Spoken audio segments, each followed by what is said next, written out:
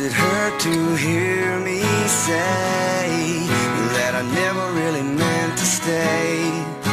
I left you right where I was.